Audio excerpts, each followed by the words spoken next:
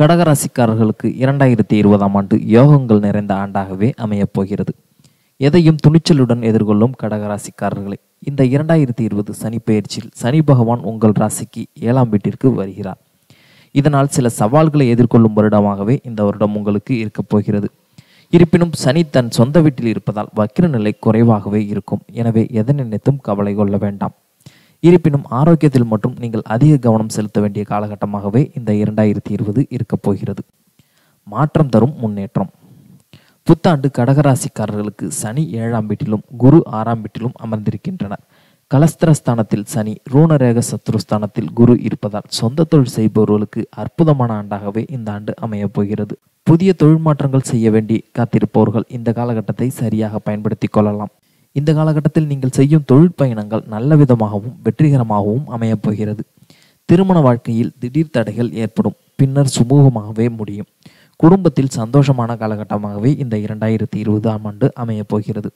உங்களின் வாக்குவன்மை அதிகரிக்கப் போகிறது. புதிய உறவுகள் தேடி வரும். உறவினரிடம் வாக்குவாதம் செய்வதை மட்டும் தவிர்ப்பது நல்லது. விட்டு கொடுத்து செல்வது நல்லது. ஏனென்றால் உறவினரிடையே பிரிவை உண்டாக்கும் வாய்ப்பும் உள்ளது.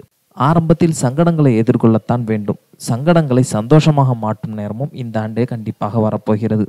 எனவே கடகராசி அன்பர்கள் எதை நினைத்தும் இந்த ஆண்டு கவலை கொள்ள வேண்டாம். திருமணம். திருமண தடைகள் இந்த காலகட்டத்தில் விலகும். கணவன் மனைவி இடையே அனாவசிய பேச்சை மட்டும் தவிர்ப்பது நல்லது. நிச்சயமானவர்களாக இருந்தால் திருமணத்திற்கு பிறகு உங்களது அண்மை வெளிப்படுத்துவது நல்லது. இப்பொழுது பேச்சை குறைத்துக் கொள்வதே நல்லது.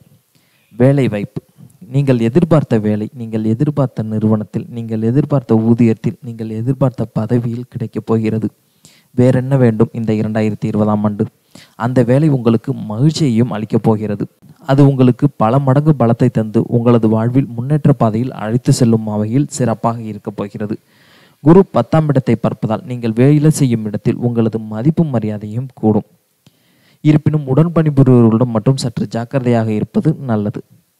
சொந்த தொழில் சுய தொழில் மற்றும் வியாபாரம் செய்பவர்களாக இருந்தால் உங்கள் ராசிக்கு ஏழில் சனி இருக்கிறார். இரண்டாம் இடத்தை குரு பார்க்கிறார். உங்களது தொழில் எந்த பாதிப்பும் இல்லாமல் முன்னேற்றம் அடையும். ஆனால் உங்களை பற்றிய தவறான வதந்திகள் வெளியில் பரவதற்கான வாய்ப்பு உண்டு.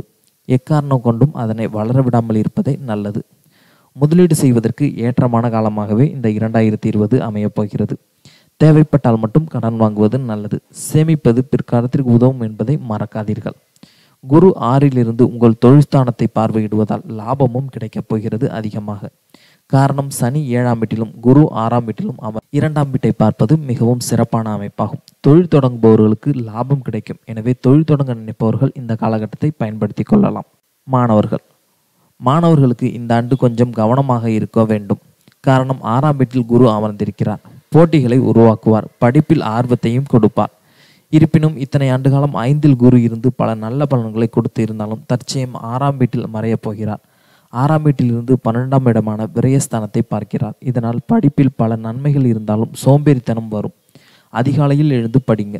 கவனமாக படித்தால் நிறைய மதிப்பெண்கள் வாங்கலாம். ஆரோக்கியம். உடல் ஆரோக்கியத்தில் அக்கறை காட்டுங்கள். கடந்த சில வருடங்களாகவே ரொம்ப ஜாலியாகவும் உற்சாகமாகவும் இருந்திருப்பீர்கள். இந்த வருடம் வயிறு சம்பந்தமான பிரச்சனைகள் எட்டி பார்க்கும். சாப்பாட்டு விஷயத்தில் கவனமாக இருக்கவும் நேரத்திற்கு சாப்பிட்டால் எந்த பிரச்சனையும் இல்லை. வெளிநாட்டு வாய்ப்பு. இரண்டாயிரத்தி இருபதாம் ஆண்டில் நல்ல யோகங்கள் கிடைக்கப் போகிறது. குருவினால் விபரீத ராஜயோகம் கிடைக்கப் போகிறது.